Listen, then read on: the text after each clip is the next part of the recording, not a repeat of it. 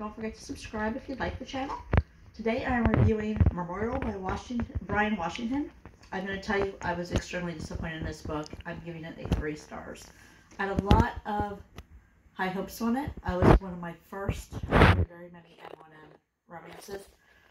It's um, Ben and Mike, their relationship. They've been together for four years, sort of, um, and they are not really getting along. And then Mike ups and leaves to go to Japan where his father is dying. The day after his mom, who Ben has never met, comes. So Ben is stuck in an apartment with Mike's mom, who is a complete stranger.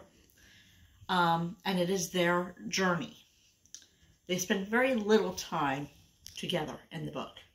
Um, it starts out with Ben telling his story, and there are small chapters, quick read. Then it goes to Mike's story, which is one very long chapter. And then goes back to Ben, which starts with chapter one again. They don't interact as much. Their dialogue is boring.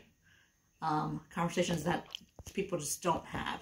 Um, and then at the end, it left you hanging so that you don't really know what happens. So I am giving it three stars. However, there was so much potential in this, and I just feel like it had somewhere else to go, and that he could be a very talented writer, just did not follow through with the storyline, and kind of boring. So my next book that I'm going to be reading and reviewing is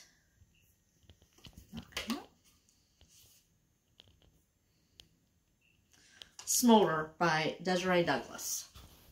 If there's a book you would like me to review, please say so in the comments. And I will be back soon. Thank you very much. Don't forget to subscribe.